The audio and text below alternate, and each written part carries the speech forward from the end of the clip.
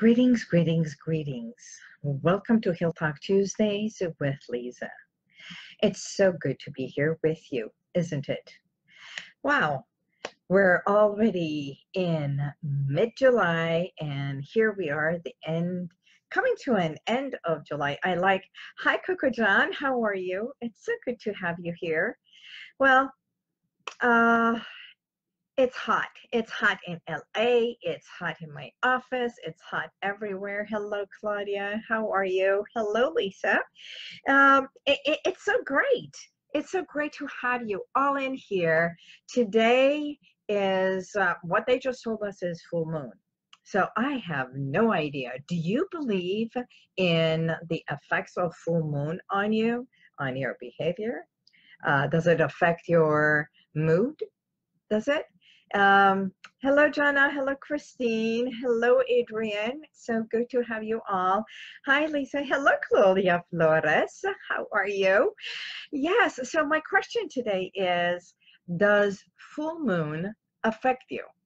Well, I've got to tell you something. Starting yesterday, I've had one uh, stress after another, uh, one disastrous things that have been happening packing one on top of another. And then here I am, Mrs. Stress Management. And it's like, how do I cope with something like this? And it's just realizing that what happened, it's outside of my my control. Uh, the elevator in our condominium has stopped due to mismanagement of something else. So being on the board, I was responsible to make few calls and take care of it. And uh, there are the tenants that we have to take care of because of the heat and earthquakes and everything. So we want to make sure that everyone is safe. And with all that, there's something else happening. The computer not functioning right. And here I am. Is it full moon? So my question to you is, does it affect oh thank you so much claudia. Um, so does it affect us? Or do we use certain things in life as an excuse to um, say it's not about me it's because of this. Uh, i'm not going to take responsibility because of that. So what in our behavior in our uh, in our habits or behaviors is in our control. So, hello again. For those of you who do not know me, I am Liza Boubari, your expert hypnotherapist, motivational speaker, and your Heal Talk Tuesday informative. Um, I like to bring information, I like to bring solutions, and the name of my business is Heal Within, where transformation begins.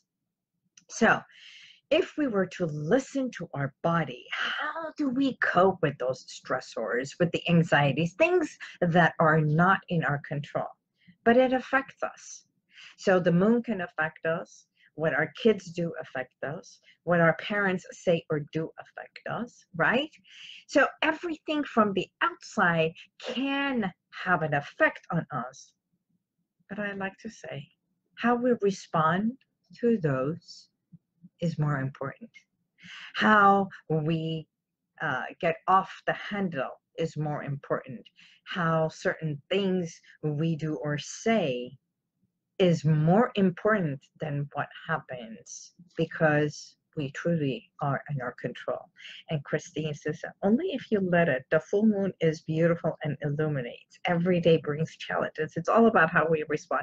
Amen. Exactly, Christine. Um, that's what I like to say. Everything in life, how we deal with it is more important.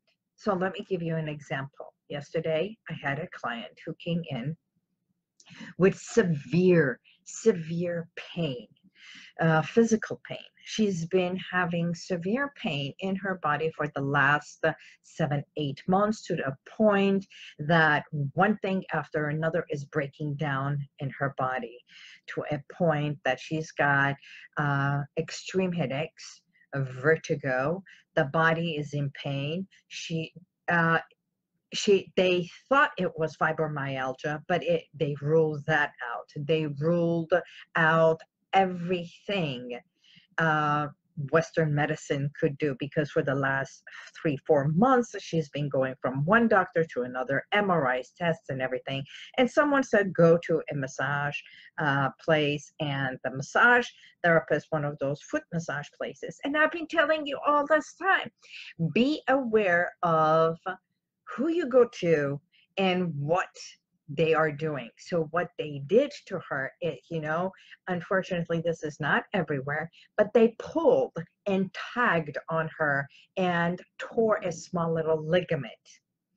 And then, so that add, added onto her stressors, that added to her injuries or her pain. So she was exasperated. When she came in, she couldn't even fill out the form. My assistant had to help her fill out the form because she could not write well. She came in here with tears in her eyes, saying that she could not handle the pain. Sorry.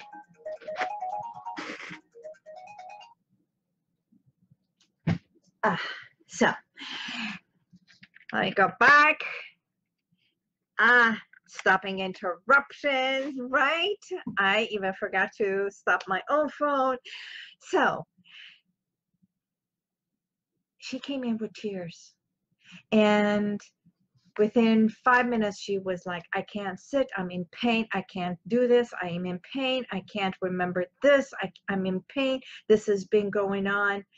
So by calming her to a point where I just sat and I said, You can walk out anytime, but share with me. Share with me how long has this been?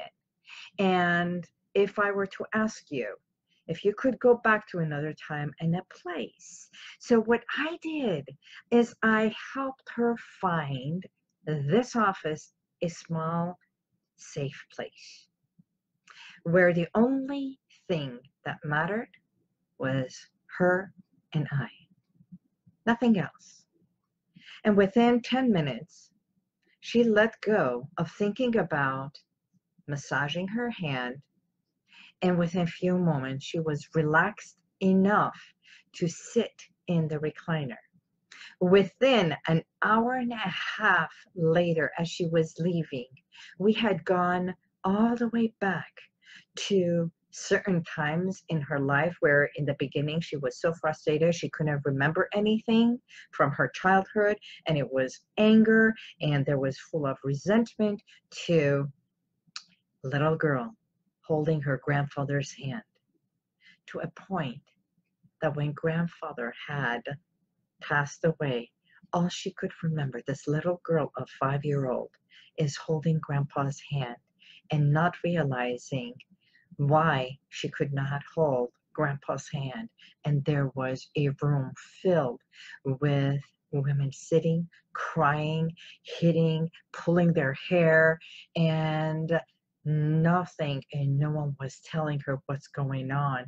And so with their screams she starts screaming.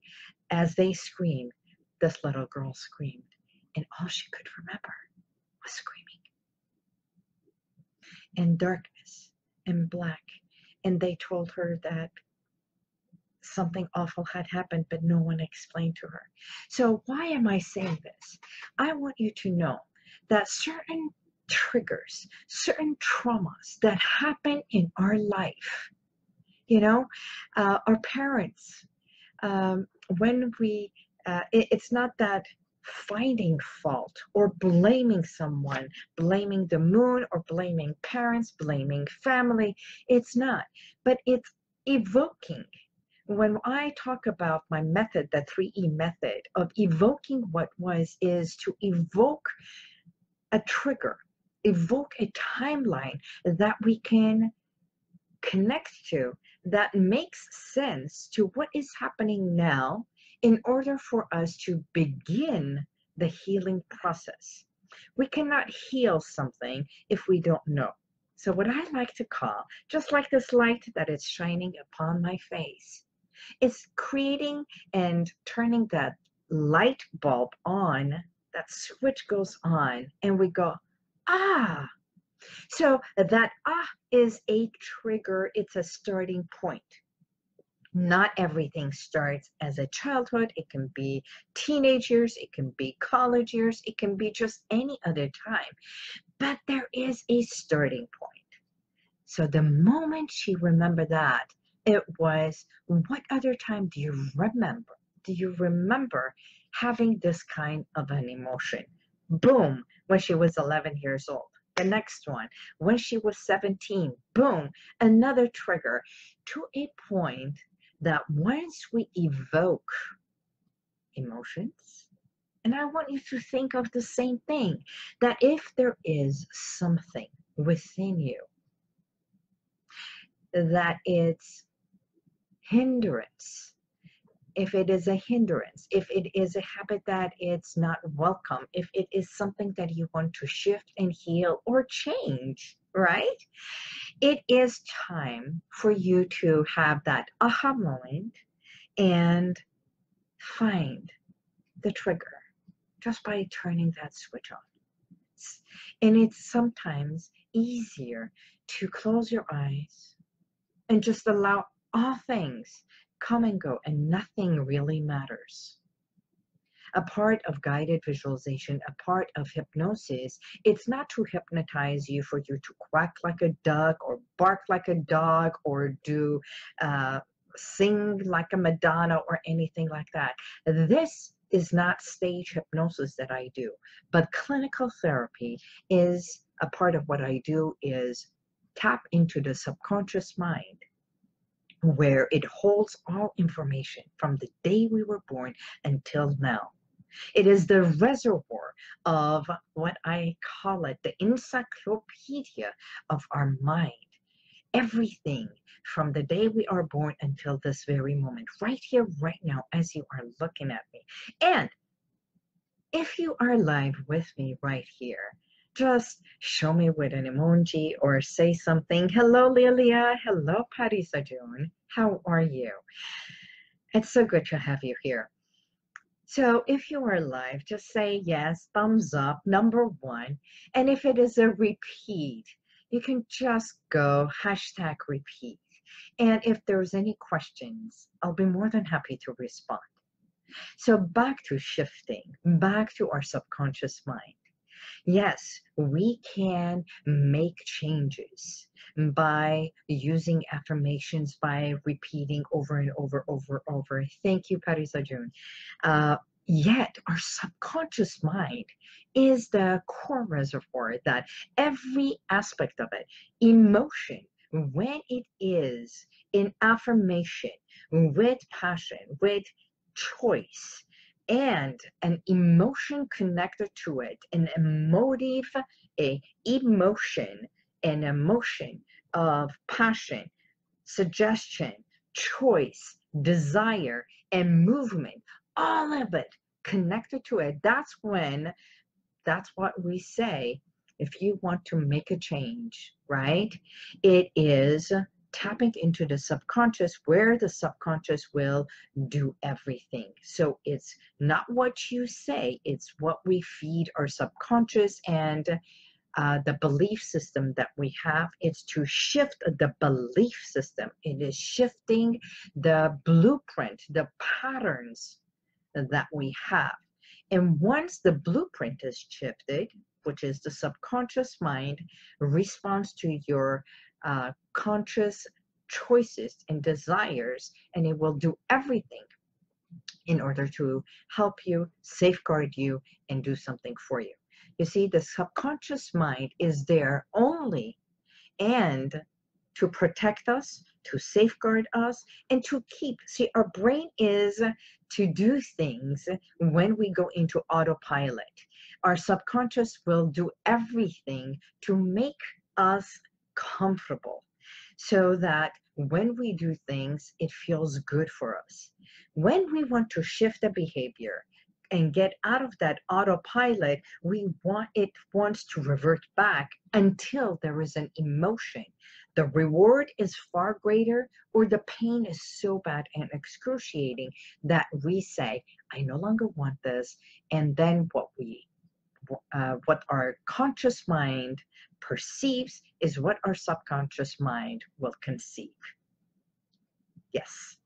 And it will give back to us. So by evoking and light bulb and we go that aha moment, it's time to embrace it. So instead of negating it, instead of saying, oh my God, why that happened? It was so bad. It was, instead of punishing what happened or the people who did, it's saying, wow, now I get it. Now I understand why certain things in life shaped me to who I am the things that I do, the way I behave, and how wonderful it is for me to recognize it. And now I get to see, I get to recognize, now I get to like me for who I am. And then, if it is something you no longer like and you want to change, that's when we say, What is my next step? What do I want in life? Not what we don't want, but what is it that I want? What is it that I desire? What excites me? What brings me that passion? And that is what I want in my life now. So, if it was for her to let go and she was like, I want to get rid of this pain. I want to get rid of this pain. I can't stand this pain. I can't live. I can't have life. I can't be angry. And I said, That's true. You can't. But as long as you are stuck in the I can't, there is no way that you can. Again, as long as we are stuck in the I can't, which means I am helpless, that means you're not giving yourself permission to I can. And it was what? So, recognizing how our words become so powerful that the words that we utter, the words that we use, become engraved and embedded in our mind. And as long as I say I can't, therefore I can't. I'm helpless, right? It's like when I get stuck with my computer, I call my assistant. Literally, I love Adrienne. She's my Alexa. It's like, Adrian. and or else I get flustered, I get anxious because I really do. I'm not a techie person. I say I am not a techie person, but if she was not here, I'm sure I would find a way to make it work. I can turn around and get flustered and say, I can't handle this. Yes. Two minutes later, if I have no one, I guarantee you I will find a way. Why? Because at 12 noon, I have to come live. Because I have given a word, taken responsibility, and made a choice to show up, to show up at 12 noon every single Tuesday, no matter where I am. Now, come high horse or whatever. Sometimes I'm three minutes away, sometimes I'm two minutes uh, late, but I do show up. And because of that, I will figure out somewhere, somehow, to show up for you. So that in itself says when we think I can't, in a way we are saying, I can't now. How about, what if you shift and do the same thing? Because when you think about I can't and you say, am I really helpless or can I find a way to do it? Can I find another way to come up with an answer? Because there are many ways for us to come to the same answer. You see, when I think about doing the calculation uh, or multiplication I before I even pick up the calculator to do it, I do the multiplication in my head. Like 6 times 6. And right before I come up with the answer, this is how my brain goes into how fast and as fast as I come to give the answer, my brain goes shishishta shishta 36. So what happened here? Some of you got it, some of you don't. Hi, how are you, Mark? Uh, shishishta shishta is in Farsi. That means 6 times 6, 36. Being born in Iran, I am Iranian, Armenian, Armenian, Iranian, being born in the country of Iran. For some of you who do not know, I was born in Tehran, Iran. And when I was 14 years old, I came to the United States. And that's many, many years ago. I consider myself an American. But because of my blueprint and how I was educated and how I remember the multiplication, and that is embedded in my subconscious, my multiplication is in Farsi. Not even Armenian, which is my uh, main language. I learned my multiplication in that language. So when I want to do that, right away my brain goes into uh, so solution mode and the solution comes in Farsi and then I translate it to English or in Armenian and then I give the answer. And that's how fast this incredible mind of us functions. So for those of us who learn things as a child, as children, that take information from our parents, from teachers, from our siblings, from our grandparents, from our environment, from the cold and the heat and everything, even the food we nourish. Our body, our mind learns what is right, what is wrong, what is good, what is bad. So today, there are patterns that since I was young, uh, even in our family, we grow up, we don't understand it until we come and become older and we realize there are certain things, traditions, certain behaviors, certain patterns in the family and the way they speak is not conducive to the way we want to live today. It their way of upbringing is not like today. And it doesn't mean that we are going to wrong them but it doesn't mean we have to abide by those traditions and those rules to be happy today. So that in itself is knowing how to handle and honor yourself. By the time my client left, I am going to ask you the same question today. You know, when we get married, in general, I don't mean it for everybody, but when two people stand in front of God, in front of an altar, in front of witnesses, and it can be in front of a clerk, I don't care where it is.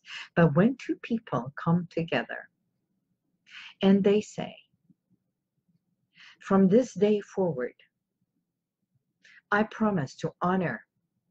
I promise to safeguard you. I promise to obey. I promise to do this. You know, all these promises that we do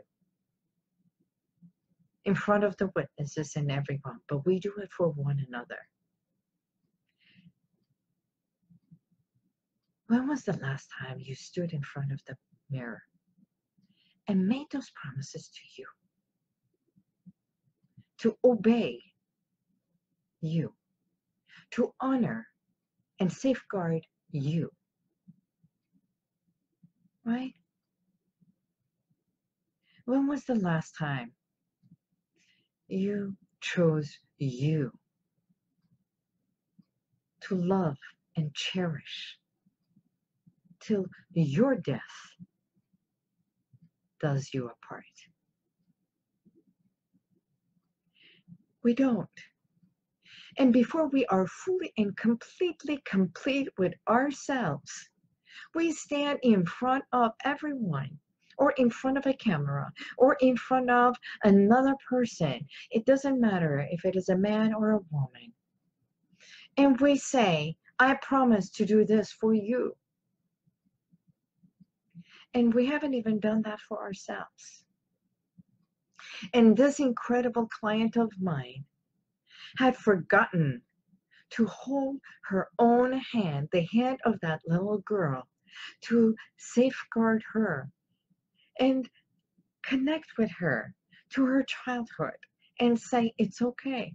In all these years, not realizing that she was still suffering from the death of her grandfather and never truly giving herself permission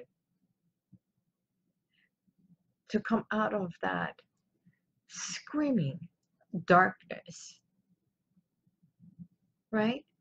And after a while, at age nine, her family, because she was constantly crying, they didn't understand. They think that she is depressed and then they take her worse than anything to a mental hospital for another mental doctor to take care of her and they said she is depressed and then of course medicine after medication medication after the medication and by the time we come to be an adult at age 34 she still didn't realize it. So in one session and I'm not saying this is a cure, but it is paying full loving attention to you, saying I do to me, saying I do to honor and appreciate, and to love yourself, to love all of you. And it doesn't matter what the labels are. It's okay for you to have an understanding, but then it's peeling away those band-aids, layers and layers of band-aids of that stress, anxiety, labels of uh, I am depressed, labels of I am mentally retarded. really? Some do need it. But for you to start loving all the layers and peeling away, that's where you say I do. So that's how we evolve. Evolving comes from turning the light bulb, embracing all of you. And it doesn't matter if we are sane, insane, if we are overweight. You know, I work with emotional eating. I work with people who have done all kinds of dieting and yo-yos and they believe I can't lose weight. And I show them the way that they can. They can tap and see how they can instead of eating realize that sometimes the best thing is to empower your self-esteem instead of eating away with negativity, eating away at our self-esteem with negative talk and perceptions. So, my question is to you, how often can you turn I can't to I can? And instead of things that have been eating at you, you turn around and say, I become more loving. I validate and appreciate and accept myself for who I am today because I do matter. I matter as a human being. I matter as a man, as a woman, I matter, I matter as a child to my parents, but today I am this incredible individual because from the moment they cut our umbilical cord, we become this incredible individual. And we forget. Sometimes they don't even let us remember that we are an individual because they want to safeguard us. It's not that they did wrong, it's just they didn't know any better. And today, you can say, I can. So here is I use all kinds of metaphors. I hope this resonated. Yes, Mark. Yes, you do matter. So let me see if there's any questions in here that I can answer. Is there anything I can answer? Is there anything that, if it is not clear for you, if it is about hypnosis, which is tapping into the reservoir, your subconscious mind, just by changing and shifting my word, there is no sleep. Um, yes, there are ways of that we can do rapid induction and I can do uh, progressive induction, which is close your eyes and as I guide them into this beautiful state of relaxation to a point that nothing really matters, even though they can hear everything from the outside the cars, the sounds, the music playing in the background, even the sound of the AC, everything. We are surrounded with all of this, and sometimes we are just numb with everything that's around us. And yet, when we go into hypnosis, it's this pure, utter awakeness and awareness. Awareness even to the tip of every single one of our nails. Yeah? The way we swallow our saliva. And when we swallow it, we're taking oxygen and vitality in. And it's just pure connection. Even releasing pain inside the body, we can shift that and do that. So it's all this magnificent things. That's why I love this work. So if there's any question, if there's anything, I like to say, listen to your body, listen to yourself, and appreciate. Appreciate the pain that is knocking on your body and saying, pay attention to me. If there is a behavior that you no longer want, tapping with a pain, with a, sharpness or something, pay attention. You don't have to come to me. You can meditate. You can do self hypnosis. I've got lots and lots of uh, CDs, uh, recordings with my voice on my website that you can go to healwithin.com and go to shop. If there is anything, information that you want, it's right there for you for cancer patients. I've got a DVD for not only for cancer patients, but even their caregivers. They need some time out. They need relaxation. They too need some time because it's not only for the person who is suffering, but the people who also are taking care of the person. You see, we want to take pain away, but we can't take your pain away. I can't. I really cannot take your pain away. But what I can do through my techniques, through my expertise, is help you reduce your pain. I have no right to take your pain away. It's yours. The same way as you cannot take my pain away and it doesn't matter if it is emotional, physical, uh, or my stressor or the disasters that it's happening anywhere. We cannot take that away. But what we can do is help, raise a helping hand, create a space for those who need, and if you have the expertise and the means to it, help them in one form or another.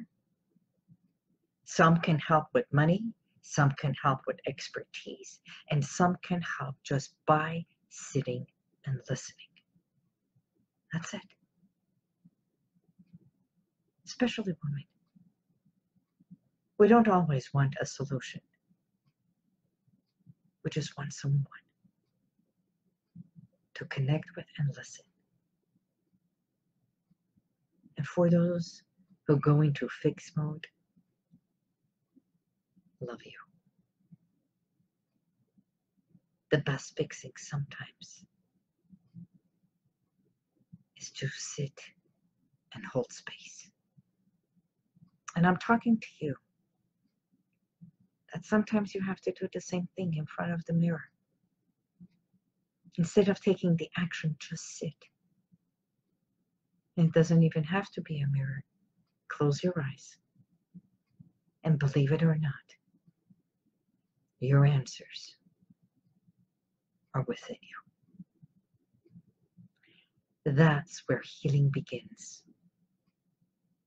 That's exactly where transformation starts. Thank you. Yes, you do need to take good care of your body because this is what houses us. And who we are is not the body, but we are within our body. And our body is just a shield and protects us. In our subconscious, our mind, this incredible sound mind of us is there. So have your own back and then find a community that supports your back. So if there's any questions, I'll be more than happy to take. Hello, Sartik. How are you? Hello, all of you, for being here. Hi, Carolyn John. Um, today's message was care for you, uh, change uh, patterns, and realize that from this day forward, you can and you are not helpless and you can always ask for help. Do ask for help. And it's okay to ask for help. As a matter of fact, I give you permission to ask for help when you need it and say, I'm here for you. And hold space for someone else that wants your help. And last thing, for those who constantly ask for your help, no is an okay answer. So you see, there's all kinds of permission you can give to yourself. Asking for help, giving help, and saying no, depending on where you are in life and what you have done and what you need to do to safeguard, appreciate, and love you. So say I do to you because you do matter. In closing, as a reminder, evoke what was, embrace what is, the reality, and evolve to what will be your desire, what excites you, and what you want to create in life. May God bless you and the universal light be with you. Until next week, I am here for you. And I will answer all the questions you present. Oh, good job, Mark. Yes, you do to you. God bless. Until next week. Bye bye.